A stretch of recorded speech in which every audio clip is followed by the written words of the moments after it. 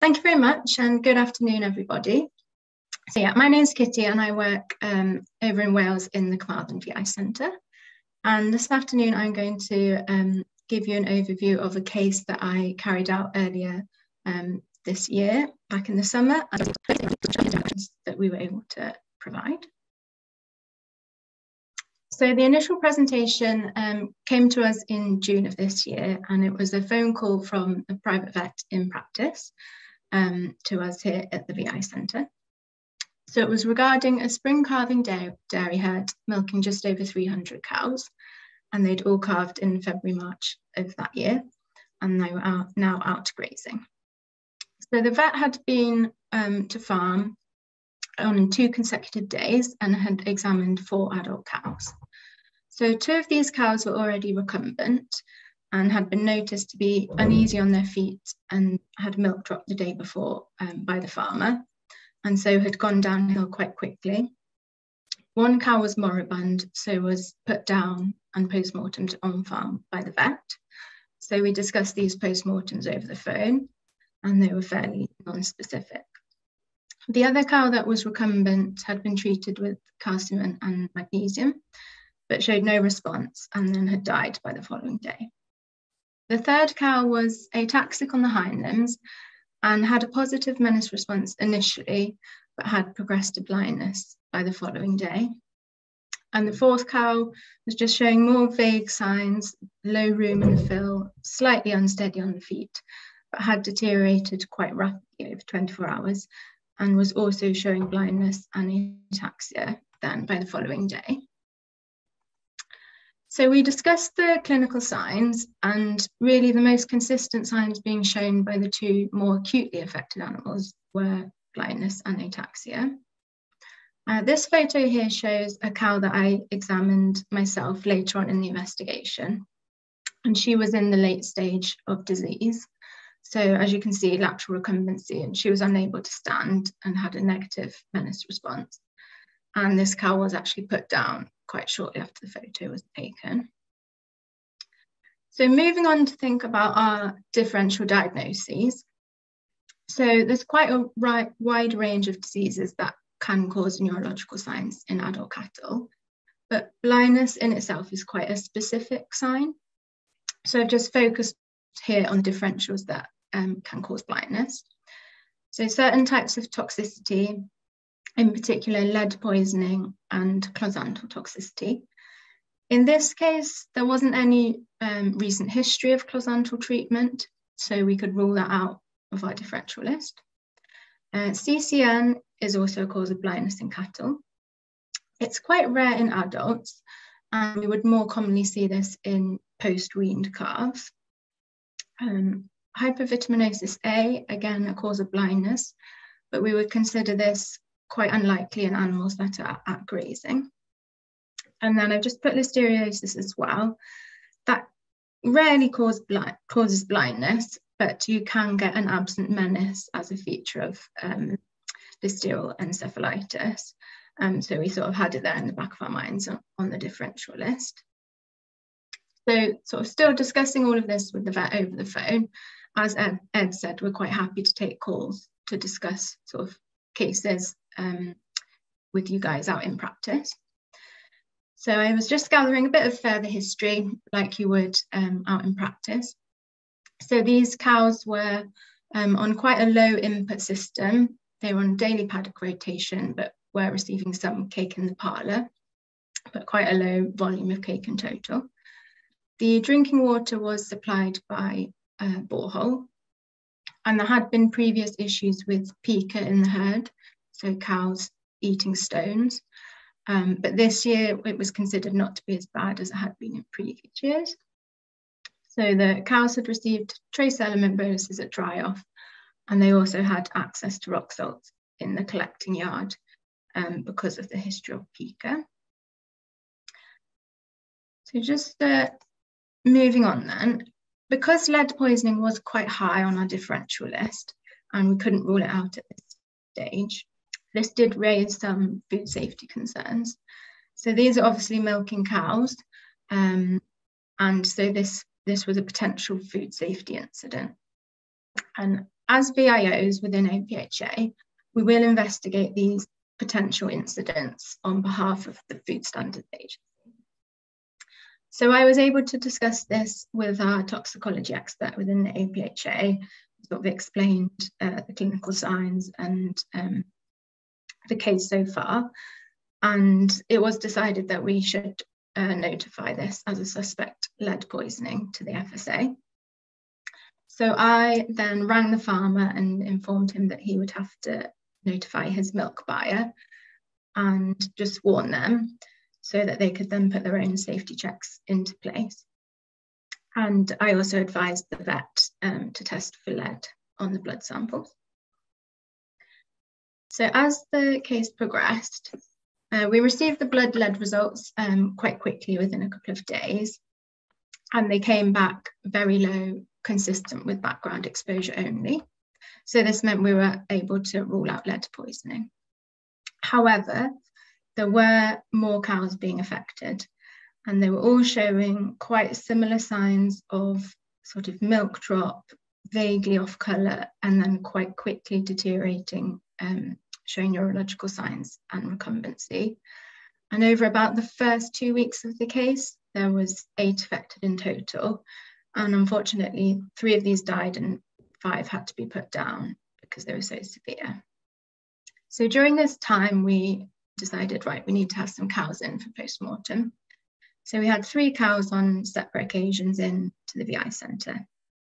And we were able to offer our free carcass collection, um, as, as Ed spoke about in his talk, um, to be able to get these carcasses into the centre. And as part of the investigation, I also undertook a farm visit. So the vet and the farmer were both happy for me to go out and gather a bit more information.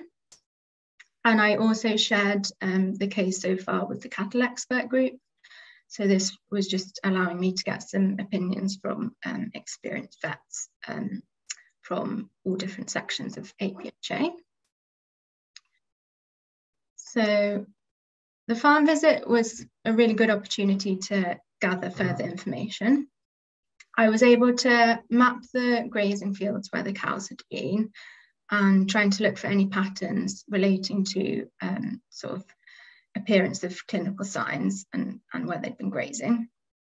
However, because they were being moved so frequently, so every 24 hours they were in a new paddock, there was no real pattern that could be spotted. I did learn from the farmer that the borehole water um, that supplied the water troughs was stored in an underground metal tank. And when the water level was becoming low in this tank, the drinking water was becoming rusty coloured. And it would remain rust coloured for around one to two days until they had a bit of rain and, and it would uh, the tank would top up again. Um, so that sort of raised some concerns, and that was just a bit of useful information that, that I took from the visit. And it was also a good opportunity to have a really good walk of the fields, have a look at the hedgerows, looking at plants, having a look around the collecting yards. Um, sometimes just a new pair of eyes is useful, um, just trying to spot any sources of potential toxins. Um, but there was nothing really significant sort of jumping out at me. So just moving on to uh, one of the post-mortem exams that were carried out. So these pictures are from the first cow that we had in. So it was fairly non-specific findings um, on gross pathology, um, sort of hemorrhages throughout a few different areas of the, the body. Um, so this photo here on the left is the liver that's been sectioned. And you can see there there's sort of multifocal, diffuse, pinpoint purple hemorrhages throughout the tissue. The picture there in the middle is the abomasum with quite a nasty red brown watery contents and a handful of, of grit. So that really fitted with, with the history of pica in the herd. And then the photo on the right there, that's the lungs, and you can see there's quite marked hemorrhage there in the caudal lobe. So what we were then able to do was um, request a wide range of subsequent testing on the post-mortem tissues. Um, so this also included um, fixing a wide range of the viscera, um, including the brain, so that we could then process um, that histology. And another screening test that we could carry out in the VI centre was um, examining the brains under UV light and checking for any autofluorescence. So this is a screening test for CCN. So if there's fluorescence there, then it's um, sort of a, a, strong indication of CCN. But as Ed said in his talk, it, doesn't um, give you a definitive diagnosis. But the brains here were, were sort of negative and they didn't show um, autofluorescence. So by, by this point, we, we were waiting for a lot of test results to come back and we were sort of getting them back in, in drips and drabs and uh, sending out new reports to the vet as, as we went along. And um, nothing was really um, giving us a definitive di diagnosis yet. So we were sort of gathering, gathering all the results together. And then we received the histopathology results. And this did give us a diagnosis. So the morphological diagnosis on the brain was symmetrical cerebrocortical necrosis. And we did confirm CCN by histopathology in all three of the cows that we had submitted for postmortem. So just a note here, as I mentioned on the previous slide, the brains hadn't shown autofluorescence under UV light. So we know that that's a fairly unreliable test and, and it just gives you an indication of, of if it's um, possible, but um, if it's negative, then it doesn't rule it out and you do need histopathology to diagnose CCN. So in ruminants, CCN is most commonly caused by a thiamine uh, deficiency, so vitamin B1, and that's most often following a dietary change. And the most common dietary change that we associate with this would be a carbohydrate overload. So this change in diet leads to proliferation of thiaminase producing bacteria within the rumen. And these bacteria then uh, release this enzyme which breaks down thiamine and you get reduced absorption. But CCN can also be caused by um, some other things, so consumption of certain plants, sulfate toxicity, uh, certain heavy metal um, toxicity, and water deprivation. So we did advise that the borehole water should be tested, and that came back uh, normal for sulfates. We'd ruled out heavy metal toxicity on uh, testing of the liver from the post-mortem. And there was no history of water deprivation uh, in these cattle. So when we were thinking about the most likely trigger of CCN in this case, we did consider that it was most likely to be dietary related. There was no uh, history of a carbohydrate overload in these cows and they were on quite a low concentrate input. However, there had been quite poor grass growth in the spring and the sward length of, of grass was considered quite low. So it was surmised that um, inadequate forage intakes in the herd had actually led to a secondary rumen dysfunction. And it was this dysfunction leading to um, a change in the microflora in the rumen and then uh, resulting in the thiamine deficiency.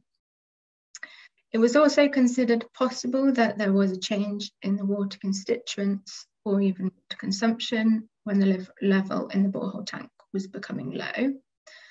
Um, so with both of these sort of factors, there was no definitive way of proving either of these, and is often the case with CCN, you can't um, definitively sort of tell why it's occurred. Um, so really management is based on what's most likely to have triggered it. So we were able to give some recommendations. So you can treat um, acute cases of CCN with IV vit vitamin B1, and you do get favourable responses if the treatment is started early in, in the course of the disease. So the vets in this case had started to treat cows with B1 um, sort of later on in the investigation, and they did get some, some successful um, results and some of the cows were able to re-enter the herd. And then recommendations um, going forward were based um, on the most likely factors that could have triggered CCN to develop in the first place. And so this was really based around um, supplementary forage feeding. So this was initiated and over the course of about two to three weeks, the number of cases did start to drop off and eventually um, stopped. And we also, also recommended um, ongoing monitoring of the borehole water at different um, times and also considering replacing that old water tank. So just to um, summarise the case then, so this really was an unusual outbreak um, of CCN. So it was unusual because it was in adult cattle. So had, ha, as I'd said earlier, um, CCN is most commonly diagnosed in post-weaned calves, and it's quite rare to see it in adults. Um, and also the number of cows affected was quite high.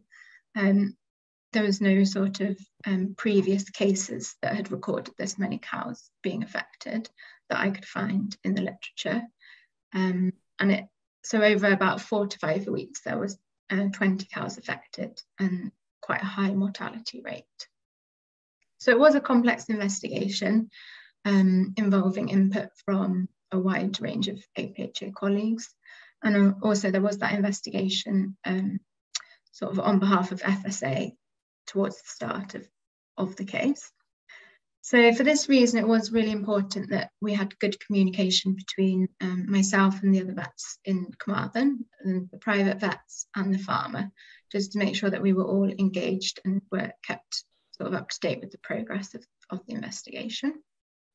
And also just interesting that the diagnosis did come down to histopathology in the end. So that just showed how important it was that we had the cows in for post-mortem exam so that we were able to get the brains out and uh, send them off to our pathologists in Wadebridge. So I'd just like to thank the private vets involved, uh, particularly Sarah at Fenton Vets and the farmer and my colleagues in Carmarthen VI Centre and wider APHA.